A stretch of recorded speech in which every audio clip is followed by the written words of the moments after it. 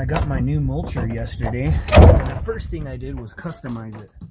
I know it's a little dark in the shop here because I live off grid and I don't use a lot of electricity, but this is how the, the unit comes with just enough room to put an inch and a half, maybe a two inch stick in there.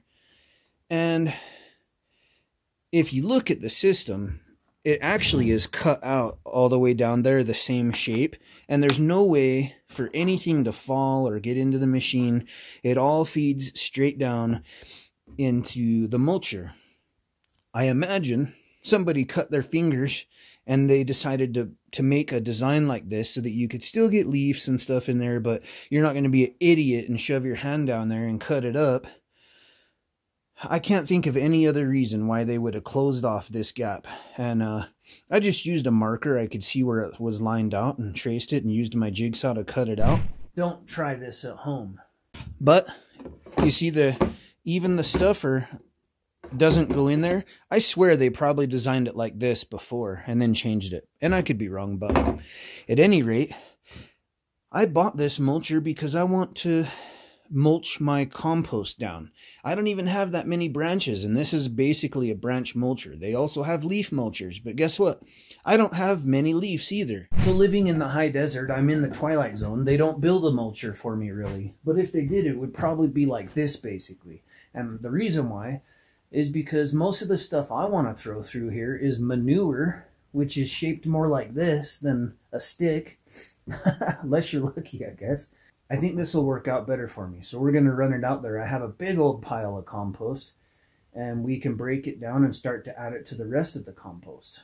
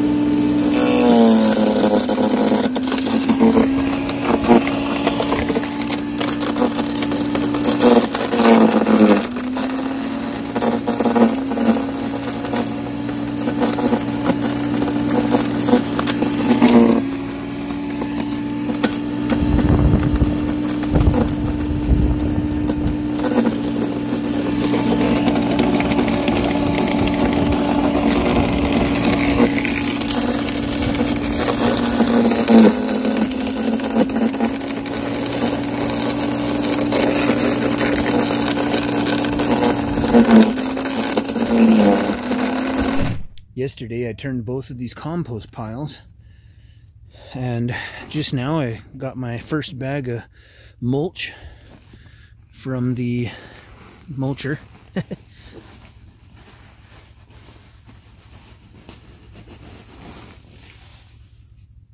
that's not too bad, huh? Hopefully that'll help get these things started. This is a mixture of straw and hay and manure and some sticks.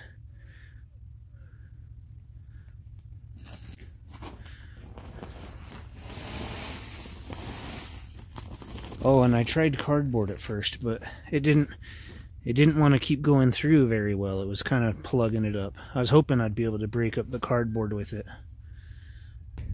I did do a bunch of banana peels and then this compost that's, you know, this would take a long time to break down.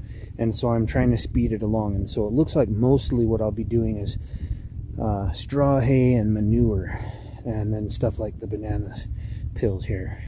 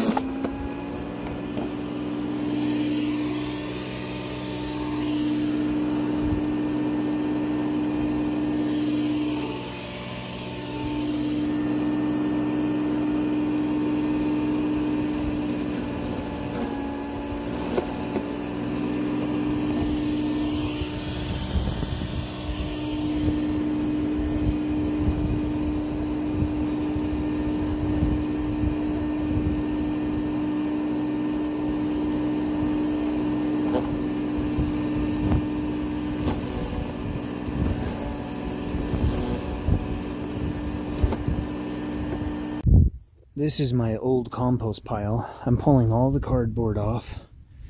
So I got that over here. And then there's all these little pieces with leaves and branches and banana peels. I'm collecting those, corn stalk, and that I'm going to throw in the mulcher. And then I can bring shovel loads of this other old compost over and just make my piles bigger because they need to be more like three foot by three foot. They certainly, it's been like three days and they, it's, it's not like it's a hot pile yet. I might need to be adding more carbon than I am. I've got another bag here.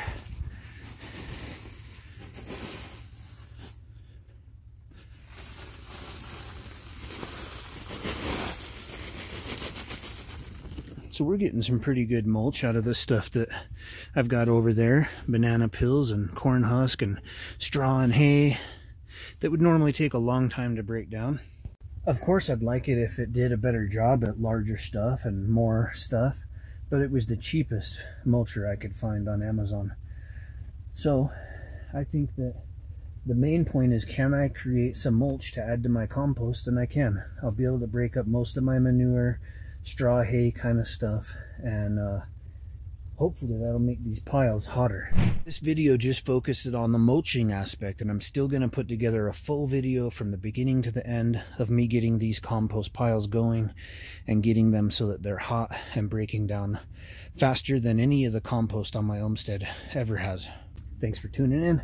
Leave a comment if you got questions. Uh, check out these videos right here and I'll catch you guys on the next one.